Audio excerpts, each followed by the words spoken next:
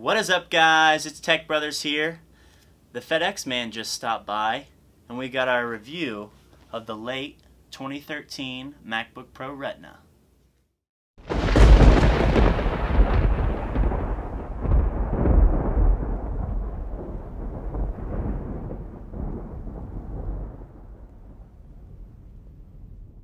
Here it is guys. We're to flip it over.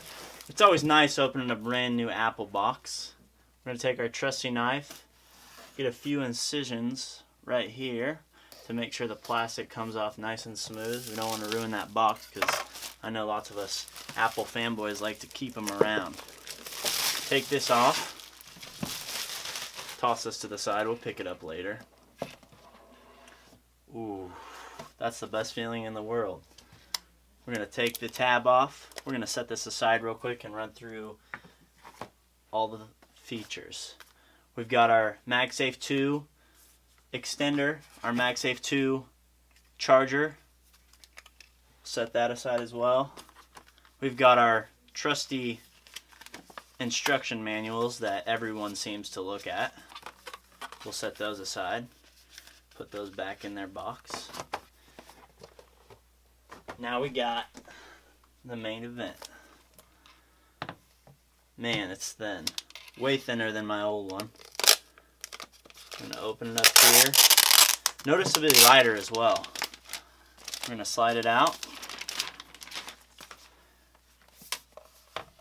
Put it down here. Open it up. Grab our little paper sheet. There she is. First things first, we're going to run through our ports specifications and stuff like that. We picked up the 2.3 gigahertz i7 model with this discrete 750M NVIDIA GeForce card with the Intel Iris Pro 5200 graphics card. We've got our MagSafe 2 connector, two Thunderbolt 2 ports, USB 3.0 and 2.0, and our headphone jack. On the other side, we've got our USB 3, HDMI, and SD card slot. Now, many of you guys might be in the same boat that we were on choosing what Mac you should get. You can either go the refurbished route, where you can save some money on the older previous earlier 2013 models, or spend a few hundred dollars more and go for the new late 2013 models. This is how we made our decision me being a photographer and doing videos for YouTube and stuff like that, I wanted something that had a dedicated graphics card. So the base model, 15 inch, 2000 model, even though it's good and it performs up to par for most people, this wasn't the model for me.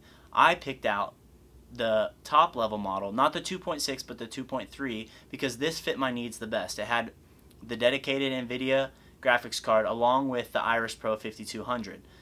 Now, some of you guys might not need all this power and can save some money getting the previous generation or the early 2013. They're both pro machines, but if you're if you want the faster SSD with the PCI based flash, you're definitely going to pull about twice as fast speeds on this flash um, versus the older system. And if you want that Thunderbolt Thunderbolt 2.0. And some people have said that the previous screen in the MacBook Pros people have had problems with, but that's hearsay, so don't base your decision off that, especially you're going to have a one year warranty anyways. When we were running through the Geekbenches, we pulled around 34 to 3500 roughly um, on our single core 64 bit test with no apps open, and about around 13,400 ish um, on our multi-core score. And this is a good balance. You know, we, we wanted that high performance multi-core when we're doing our videos and apps that can take care that can take advantage of all those threads and all that um, processing power. Um, and it has a nice balance also with surfing the internet on our single core speeds.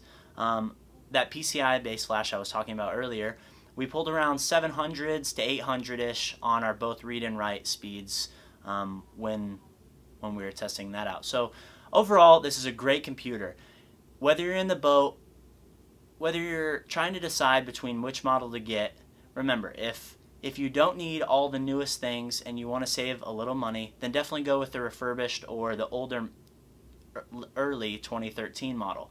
But if you need all the processing power, you need the faster PCI based flash and the new NVIDIA GeForce graphics card with an Iris Pro and a little better battery life, then definitely go with the machine that I chose. And you've also got that nice middle ground at the $2,000 mark with the 2.0 as well.